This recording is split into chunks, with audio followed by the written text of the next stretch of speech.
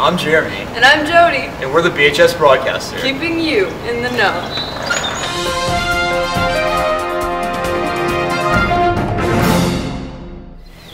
BHS athletics have been very busy lately. Several teams have received awards, and other teams have been doing service projects. We talked to some of the athletes involved to find out more. I'm Joseph Schrader. I've recently won uh, state tennis for the individual competition, and that means a lot to me because I have I've been the runner-up two years in a row before this year. So to finally get the W is great. Yeah, I'd just like to thank everybody that came out and watched the match and and everyone that's been supporting us all season. I mean, it means a lot, like knowing that there's people behind us and like cheering for us to win. So did the girls cross country team, who had won state, went to the Grove Park Inn for a sports banquet. This event's been held for the past uh, 55 years, honoring teams all over western North Carolina uh, for academic and athletic success. Um, Our girls cross country team was one of four finalists for the 1A, 2A female team of the year uh, in an Olympic sport. We got to have a fun time with the team, and we got a really big award and trophy, and it was just awesome. The softball team did a Get Home for Homes fundraiser, and it was like a walkathon. So for every run that we scored, someone would pledge an amount, and at the end of the season, uh, they would pay for how many runs we got. So this season, we scored 146 runs, and we ended up raising $3,900 for homes. And then at one of our playoff games, uh, the opposing team that we beat uh, pledged $100, so it made it an even 4000 and it was a really fun experience and getting all the community members involved in our team This week on Cooking Corner, they make cannoli dip.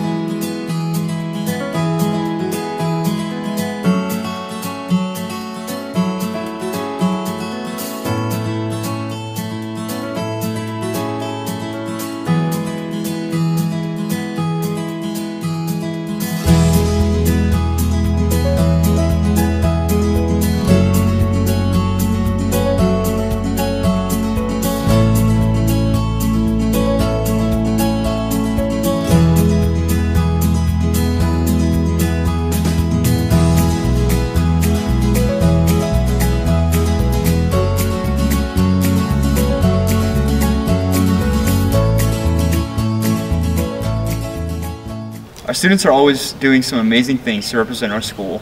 We talked to some of those students about their unique opportunities. During the White Squirrel Festival and the Memorial Day Parade, the ROTC program will be marching through the middle of town in one company, which means that they're all going to be in one formation every single class, and I'll be standing next to them, marching them through the middle of town. We're doing this um, to get the ROTC program out there, and we're also doing this to honor the soldiers for Memorial Day. I was called back for a role in the upcoming musical called Chasing Rainbows: The Road to Oz. It's about Judy Garland's life, and I played a role called Deanna Durbin. She's a soprano, and I played her in the fall at the Flat Rock Playhouse. And the company is now moving the production to Connecticut this fall, and it'll run for three months.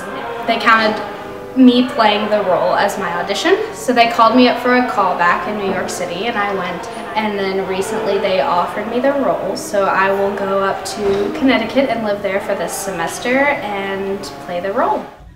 Last Thursday, our top performing students were honored at the annual TC Scholars Banquet for being on track to graduate as TC Scholars.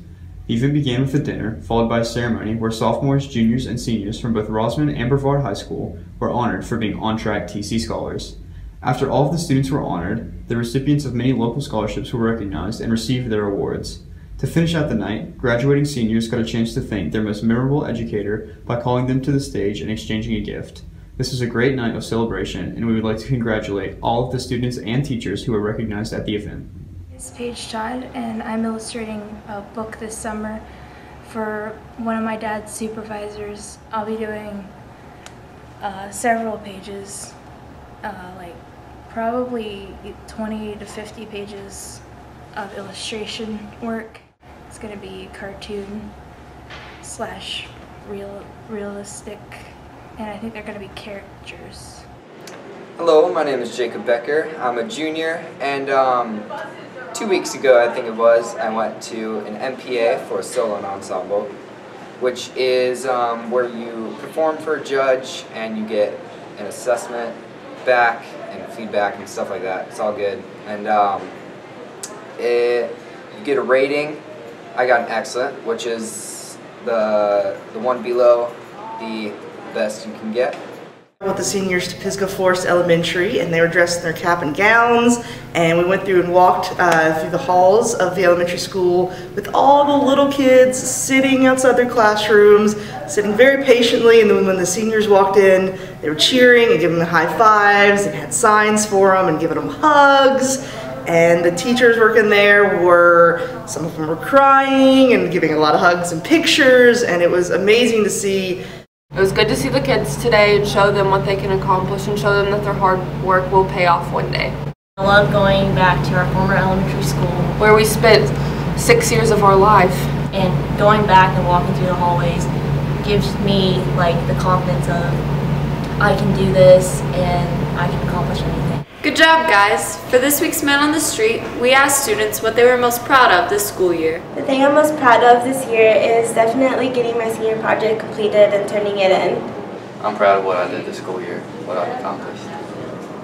I'm pretty proud of myself because I think I've worked really hard this year and put in more effort than any other year in high school. So, I'm not really sure what I'm most proud of. Probably being probably being able to uh, get through the masonry get through the masonry classes this year. being DJ Bankshot because Casey came up with that name last year and being with friends with Ari. Congratulations to Diana Body and Jessica Austin for winning the student body elections. We talked to some of the new officers about what they have planned for next year. Hi, my name is Diana Body, and I am the new student body president for the school year 2016 through 17. And I can't wait to represent each and every single student here at BHS and be a voice for everybody. Thank you. Hi, I'm Madison Graham. I'm the new senior class president. And next year, for our senior year, I plan on including everybody in our senior class trip and hopefully making it the best year and most memorable year.